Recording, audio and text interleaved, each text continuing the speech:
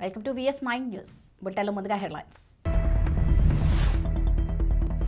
తెదేపా ఆధ్వర్యంలో ఘనంగా పరిటాల రవీంద్ర వర్ధంతి.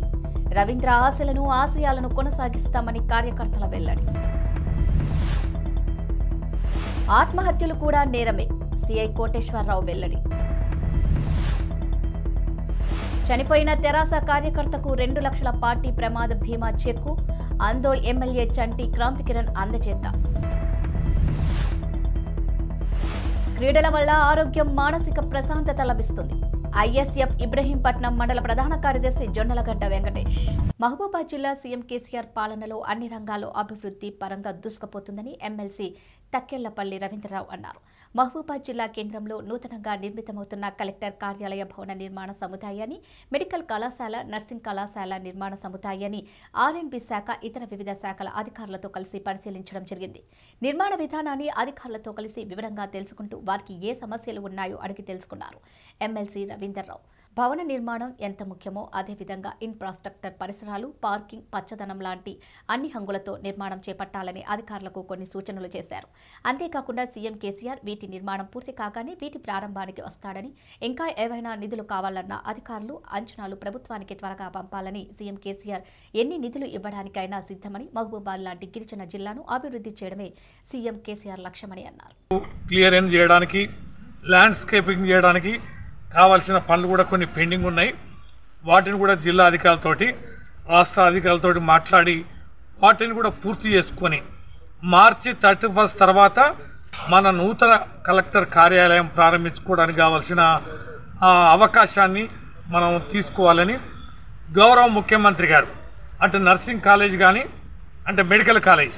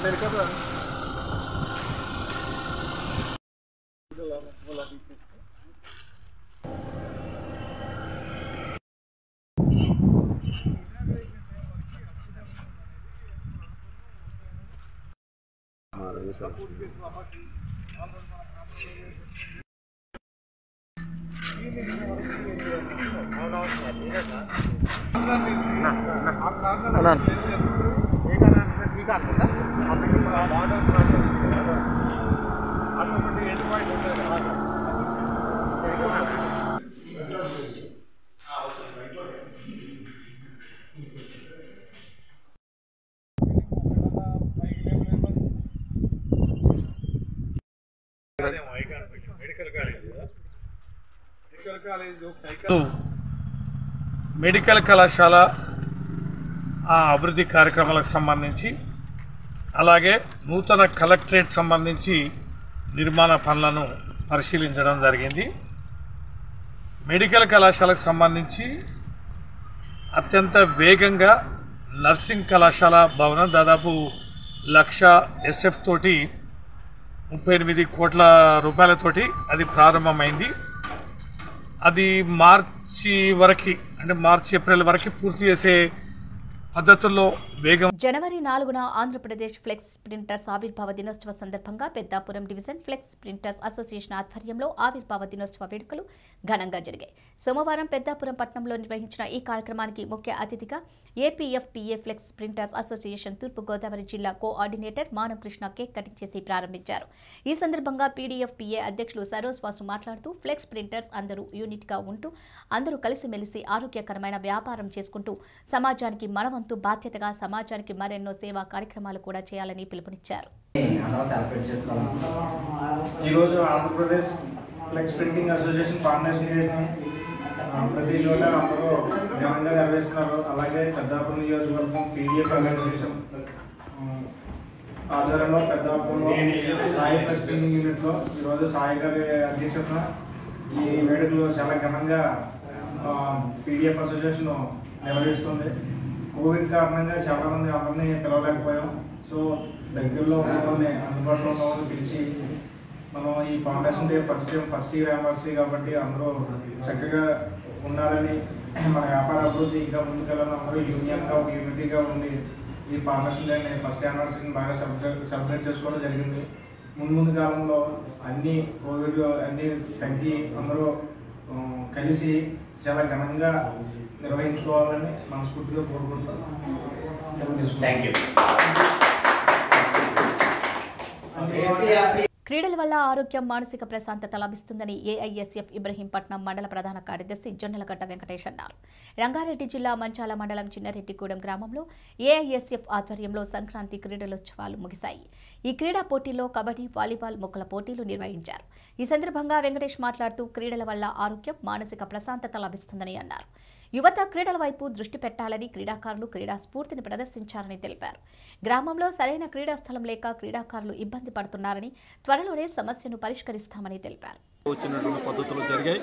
వీళ్ళ మధ్యన స్నేహభావము అదేవిధంగా ఐక్యతను కూడా ఈ గ్రామంలో పెంపొందించడానికి క్రీడలు బాగా ఉపయోగపడ్డాయి. క్రీడల ద్వారా విద్యార్థుల్లో యువకుల్లో ఒక మానసిక స్థైర్యంతో పాటు వాళ్ళలో ఉన్నటువంటి ప్రతిభని వెలకదీయడం కోసం ఈ క్రీడలు ఉపయోగపడ్డాయి అనేది కూడా మేము భావిస్తున్నాం. భవిష్యత్తులో ఇలాంటి క్రీడల్ని ఇక్కడ ఉన్నటువంటి ఏఎస్ఎఫ్ విద్యార్థి సంఘం మరిన్ని క్రీడలు నిర్వహించడంతో పాటు ఇక్కడ ఉన్నటువంటి ప్రజల్లో ఉన్నటువంటి నైపుణ్యాన్ని ముందుకు తీసుకొచ్చి ఆ రకంగా గ్రామంలో ఉన్నటువంటి అభివృద్ధికి క్రీడా అభివృద్ధికి తోడ్పడాలని గ్రామంలో మంచి స్నేహ వాతావరణాన్ని తీసుకోవడం కోసం కూడా చెడు అలవాట్లని దూరం చేయొచ్చే విధంగా ఈ క్రీడలు ఉపయోగపడే విధంగా ఈ విద్యార్థి సంఘం కృషి చేయాలని కోరుకుంటున్నాం. నిర్వహించుకున్నటువంటి బహుమతుల బహుమతుల కార్యక్రమాన్ని చేసినటువంటి రాష్ట్ర కమిటీ సభ్యులకు అదేవిధంగా ఏఎస్ఆర్ రంగారెడ్డి జిల్లా రంగారెడ్డి జిల్లా గ్యార క్రాంతి గారికి కూడా మా యొక్క ధన్యవాదాలు. సంక్రాంతి క్రీడోత్సవాల్లో పాల్గొన్నటువంటి చెన్నారెడ్డిగూడ యువకులకు అదేవిధంగా మహిళలకు గ్రామ ప్రజలకు మా యొక్క ధన్యవాదాలు. యువకులు చదువుతో పాటు క్రీడోత్సవాల్లో కూడా ముందుకు రావాలని క్రీడోత్సవాలు మానసిక ఉల్లాసాన్ని ఇస్తాయని స్నేహభావాలను ఇస్తాయని ఈ రోజుగా ఈరోజు ఏఎస్ఎఫ్ ఏఎస్ఎఫ్ ఆధ్వర్యంలో సంక్రాంతి క్రీడోత్సవాలు నిర్వహించడం జరిగింది. ఈ యొక్క కార్యక్రమాన్ని విజయవంతం చేసినటువంటి యువకులకు మహిళలకు మహిళలకు గ్రామ ప్రజలకు మా యొక్క ఏఎస్ఎఫ్ తరఫున ధన్యవాదాలు తెలియజేస్తున్నాము. అంబాజీపేట మండలం ముక్కామల కర్షక పరిషత్ భవనంలో సోమవారం నియోజకవర్గ టీడీపీ ముఖ్య నాయకుల సమావేశం గుమ్మడి వెంకటేశ్వరరావు అధ్యక్షతన నిర్వహించారు. ఈ సందర్భంగా నాయకులు మాట్లాడుతూ పి. గన్నవరం నియోజకవర్గంలో రాబోయే ఎన్నికల్లో తెలుగుదేశం పార్టీని అత్యధిక మెజార్టీతో గెలిపించేందుకు కృషి చేస్తామన్నారు. గత రెండున్నరేళ్ళలో ఇప్పటి వరకు నియోజకవర్గానికి నాయకుడు అనేవాడు లేకపోవడంతో పార్టీలో గ్రూపు రాజకీయాలు మొదలయ్యాయని పలువురు ఆవేదన వ్యక్తం చేశారు. ఇప్పటికైనా పార్టీ అధిష్టానం గుర్తించి పార్టీలో కష్టపడి వ్యక్తికి నియోజకవర్గంలో స్థానికంగా అందరికీ అందుబాటులో ఉండే వ్యక్తికి ఇన్ఛార్జ్ బాధ్యతలు అప్పగించాలని సమావేశం తీర్మానించింది. మాట్లాడుకోవడం జరిగింది. ఈ యొక్క ఎస్సీలందరూ కూడా ఒక తాటి మీదకి వచ్చి ఈ నియోజకవర్గంలో అందరూ ఎస్సీలందరూ కలిసి ఒక క్యాండిడేట్ని సూచించవాలని చెప్పుకోవడం జరిగింది. అలాగే నలుగురు ఐదుగురు ఉన్నారు. నలుగురు ఐదుగురు కలిసి మేము అధిష్టాన దగ్గరికి వెళ్ళి అధిష్ట దృష్టిలో పెడతాం. మాకు స్థానికుడికే టికెట్ ఇవ్వమని కోరుతున్నాం. అలాగే ఇంతకుముందు కూడా వెళ్ళి అందరం కూడా వెళ్ళి కోరటం జరిగిందండి. ఆ దృష్టిలోనే మళ్ళీ ఇప్పుడు మేము మీటింగ్ చేసుకోవడం జరిగింది. అందరం కలిసి కలిసికట్టుగా ఈ నియోజకవర్గంలో తిరుగుతాం.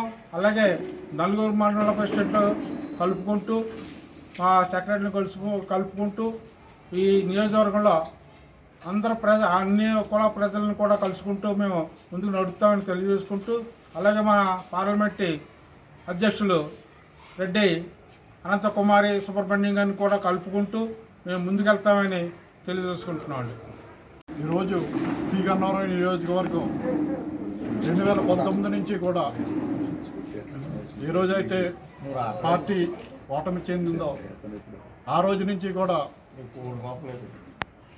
మేము గ్రామాల్లో గ్రామస్థాయి నుంచి కూడా ఎస్సీల్ని పార్టీలోకి ఆకర్షితుల్ని చేసి వారి ద్వారా పార్టీని బలోపేతం చేయాలనే ఉద్దేశంతో చేసిన కార్యక్రమాలు దగ్గర దగ్గరగా రెండున్నర సంవత్సరాల నుంచి నిర్మర్యంగా చేస్తున్నాం. అందులో భాగంగా మాకు మధ్యాహ్న భోజన పథకం వంట ఏజెన్సీ హెల్పర్లు పాఠశాల పారిశుద్ధ్య కార్మికుల సమస్యలు పరిష్కరించాలని డిమాండ్ చేస్తూ ఏఐసిసియు ఆధ్వర్యంలో నూజివీడు సబ్ కలెక్టర్ కార్యాలయం వద్ద మహాధర్నా నిర్వహించారు. ఈ సందర్భంగా సిపిఐ లిబరేషన్ పశ్చిమ కృష్ణ ఏరియా కార్యదర్శి దుర్గం పుల్లారావు మాట్లాడుతూ ప్రభుత్వ పాఠశాలలో విద్యార్థులకు వంట చేసి పెడుతున్న కార్మికుల పట్ల పాఠశాల మరుగుదొడ్లు శుభ్రం చేస్తున్న కార్మికుల పట్ల రాష్ట్ర ప్రభుత్వం సవతి తల్లి ప్రేమ చూపిస్తుందని ఆరోపించారు. రెండు వేల మూడు నుండి విద్యార్థులకు వంట చేసి పెడుతున్న వంట ఏజెన్సీ హెల్పర్లకు కేవలం మూడు వేలు మరుగుదొడ్లు శుభ్రం చేస్తున్న కార్మికులకు ఆరు వేలు గౌరవ వేతనం చెల్లిస్తూ వెట్టి చాకరీ చేయిస్తుందని పెరిగిన ధరలతో పోలిస్తే ఏ విధంగా సరిపోవని విమర్శించారు. కనీస వేతన చట్టం అమలు చేసి నలభై ఐదు నలభై ఆరు జాతీయ లేబర్ కమిషన్ సిఫారసుల మేరకు నెలకు ఇరవై ఒక్క వేలు జీతం చెల్లించాలని దుర్గం పుల్లారావు డిమాండ్ చేశారు. పాఠశాల కార్మికుల న్యాయమైన డిమాండ్లు పరిష్కారం చేయకుంటే రాబోయే కాలంలో రాష్ట్ర వ్యాప్తంగా ఆందోళన చేపడతామని హెచ్చరించారు. ఇప్పుడు మళ్ళీ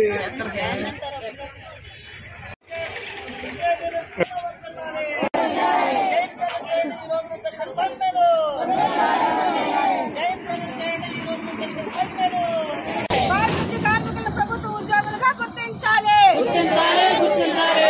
పొదుపు ఏజెన్సీలను పాఠశాల పారిశుద్ధ్య కార్మికులను ప్రభుత్వ ఉద్యోగులుగా గుర్తించాలి కనీస వేతన చట్టం అమలు చేయాలి పెండింగ్ బిల్లులు ఇవ్వాలి ధరలకు అనుగుణంగా బిల్లులు పెంచాలి ధరలకు అనుగుణంగా బిల్లులు పెంచాలి కార్మికులను ప్రభుత్వ ఉద్యోగులుగా గుర్తించాలి ప్రభుత్వ ఉద్యోగులుగా గుర్తించాలి చేసేది ఎవరికి మేమెవరికి పని చేస్తున్నాం ఈ ప్రభుత్వానికి కాదా? ఈ ప్రభుత్వ పాఠశాలలో ఉన్నటువంటి విద్యార్థులకు కాదా? ప్రాథమిక విద్య హక్కు కాదా? ప్రాథమిక రాజ్యాంగం ఉంటుందిగా? మరి అఖిల భారత ప్రగతిశీల మహిళా సంఘం రాష్ట్ర అధ్యక్షురాలు ఏఐసిసిటియు రాష్ట్ర కమిటీ సభ్యులు. ఈరోజు మరి పారిశుద్ధ్య కార్మికులు అలాగే మధ్యాహ్న భోజన పథకం ఏజెన్సీల సమస్యల మీద వాళ్ళ కనీస వేతన చట్టం ప్రకారం ఇరవై ఒక్క వేల జీతం ఇవ్వాలని పదివేలు పెన్షన్ ఇవ్వాలని ప్రభుత్వ ఉద్యోగులుగా గుర్తించాలని పెండింగ్ బిల్లులు ఏవైతే ఉన్నాయో అవి ఇవ్వాలని చెప్పేసి డిమాండ్ చేస్తూ ఈ సమ్మె చేయడం జరుగుతుంది. ప్రభుత్వం ఈ డిమాండ్లను పరిష్కరించకపోతే మా ఉద్యమాన్ని విస్తృతం చేసి రాష్ట్ర వ్యాప్త ఉద్యమాన్ని నిర్మిస్తామని చెప్పేసి ప్రభుత్వాన్ని డిమాండ్ చేస్తున్నాం.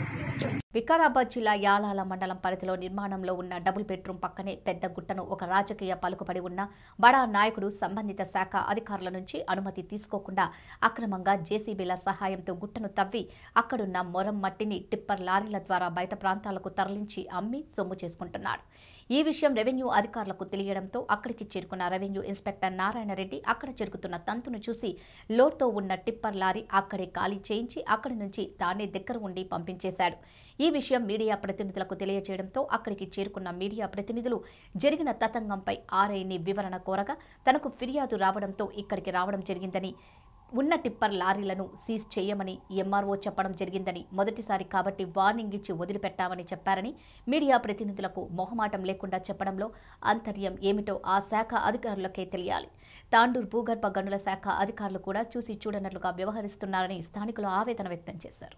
అడిగితే వాళ్ళకు ఒకసారి వార్నింగ్ ఇచ్చేసి ఇక్కడ నుంచి వెళ్ళిపోమని చెప్పడం వదిలేయడం జరిగింది. ఎవరు చెప్పారు వార్నింగ్ అంటే మీకు బండ్లు కనపడితే వార్నింగ్ ఇచ్చుకుంటూనే పోతారా?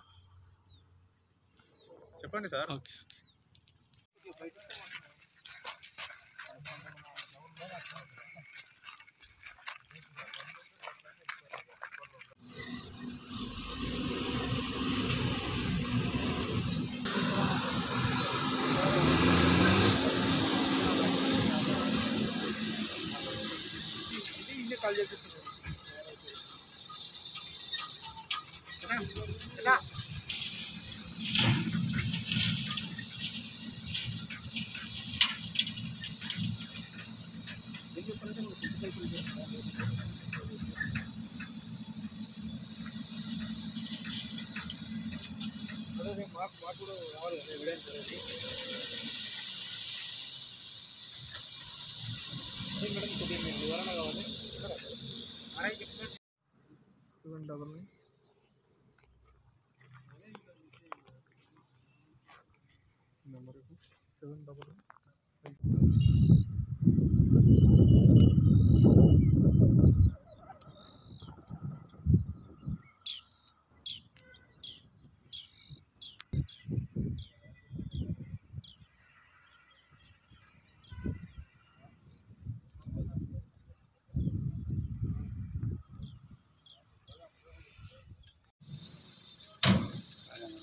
సంఘం సర్కిల్ పరిధిలోని బుచ్చిరెడ్డిపాలెం దగదర్తి సంఘం మండలాల ప్రజలకు సీఐ కోటేశ్వరరావు సమావేశం నిర్వహించారు. ఈ సందర్భంగా ఆయన మాట్లాడుతూ కరోనా కారణంగా ఎదురయ్యే ఆర్థిక నష్టాల కారణంగా ఆత్మహత్యల ప్రజలు కొందరు రైతులు బాధపడుతున్నారని క్షణికావేశంలో ఓ నిర్ణయం తీసుకోకుండా పోలీసులను సంప్రదిస్తే వారి సమస్యలకు చట్టపరంగా పరిష్కారం చూపిస్తామని చెప్పారు. ఆత్మహత్య చేసుకోవడం కూడా నేరమే. ఈ విషయాన్ని ప్రజలు గుర్తుంచుకోవాలని విజ్ఞప్తి చేశారు. దయచేసి ఆత్మహత్యలకు పాల్పడే వాళ్ళు తమ పిల్లలను కుటుంబాన్ని గుర్తుంచుకోవాలని సీఏ కోటేశ్వరరావు సూచించారు. ఫ్యామిలీ డిస్టర్బ్ అవుతున్నాయి.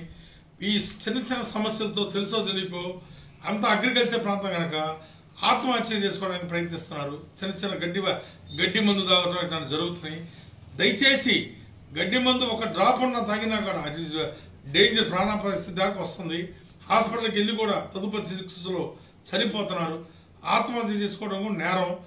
మీకేమైనా సమస్య ఉంటే మా దగ్గర తీసుకురండి ఏమైనా అప్పులు బాధలు ఉండే ఎవరైనా ఇవ్వాల్సిన లేదా ఎవరైనా ఇబ్బంది పెడుతున్నా అధిక వడ్డీలు ఏమైనా వసూలు చేస్తున్నా లేకపోతే వేరే సమస్యలు ఉన్నా పంట సమస్యలు ఉన్నా మా అధికారుల దృష్టి తీసుకొస్తే కొంత పరిష్కారం దొరికేదానికి అవకాశం ఉంది కనుక పోలీసు వారైతే చట్ట ప్రకారంగా ఎట్లయితే ఉందో ఆ విధంగా పరిష్కరిస్తాం. కనుక తొందరపాటు చర్య వలన ఆత్మహత్య చేసుకోవద్దని పదే పదే వ్యక్తం చేస్తున్నాం. రీసెంట్గా తెలిసి చిన్న చిన్న వయసులో కూడా లోపు వెళ్ళని చిన్న చిన్న సమస్యలతో తల్లిదండ్రులు కూడా పిల్లల్ని అబ్జర్వ్ చేయాలి. వాళ్ళు ఫోన్ చూసుకుంటున్నారా ఎందుకు? బాధలో ఉన్నారా ఆనందంగా ఉన్నారా? అబ్జర్వ్ చేయాలి చిన్న చిన్న టెన్త్ క్లాస్ పిల్లలు గేమ్స్ ఆడుకోవడం ఇట్లా చేస్తున్నారు. తల్లిదండ్రులు పిల్లలు ఏం జరుగుతుందో ఏం చేస్తున్నారని అబ్జర్వ్ చేసుకోవాలని అదేవిధంగా ఎవరికి వాళ్ళు జాగ్రత్త వహించి ఆత్మహత్య చేసుకోవడం నేరం కనుక అటువంటి పాల్పడద్దని ఏమంటే పోలీసు అధికారులు పోలీసు కానీ రెవెన్యూ యంత్రాంగాన్ని ఏదో ఒక దృష్టి తీసుకొస్తే కొంత ఉపశమనం జరిగిందని తెలుసుకుంటారు తెలియపరుస్తారు థ్యాంక్ యూ మేడ్చల్ జిల్లా కుత్బుల్లాపూర్ నియోజకవర్గం తెలంగాణ రాష్ట్రంలోని కుత్బుల్లాపూర్ నియోజకవర్గాన్ని అభివృద్ధిలో అగ్రస్థానాన నిలబడడానికి తాను చేస్తున్న కృషిని ఆశీర్వదించి శక్తిని ప్రసాదించాలని మరియు నియోజకవర్గ ప్రజలను ఎల్లవేళలా కాపాడాలని MLA K P Vivekananda Dundigal municipality పరిధిలోని బౌరంపేట్ గ్రామంలో జరుగుతున్న మల్లన్న స్వామి జాతర సందర్భంగా స్వామివారిని దర్శించుకుని ప్రత్యేక పూజలు నిర్వహించారు.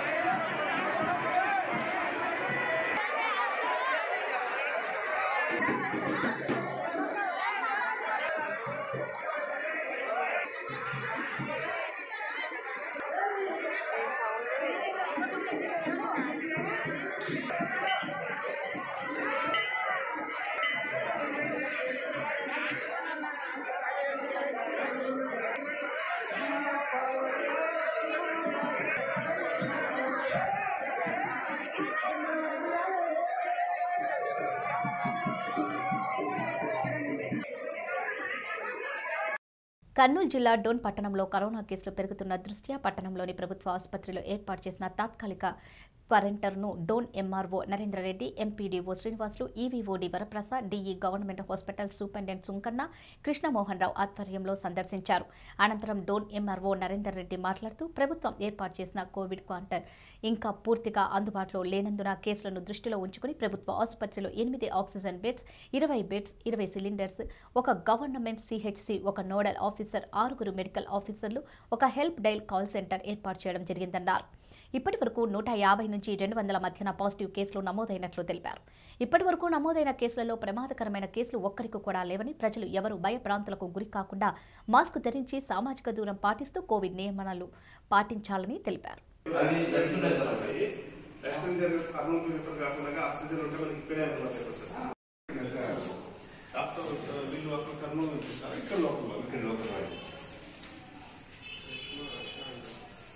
ఇక్కడే? అందుబాటులోకి వచ్చేస్తుంది డాక్టర్ వీళ్ళు ఒక కర్నూలు నుంచి సార్ ఇక్కడ లోకల్ ఇక్కడ లోకల్ వాళ్ళు తాగేసి ఇక్కడ ఇక్కడనే SDM ముద్దుతా Ravi Kumar Shivakumar and Ravi report అని వీళ్ళకి చెప్పాలి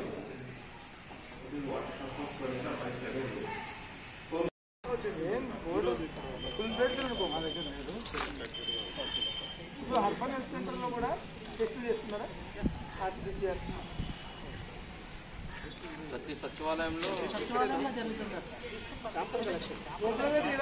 మనం రెగ్యులర్గా పంపించడానికి మనకు అవకాశం లేదు కదా అంటే వెహికల్ వస్తుంది రెగ్యులర్ వస్తున్నాయి అవును సార్. రెగ్యులర్గా మన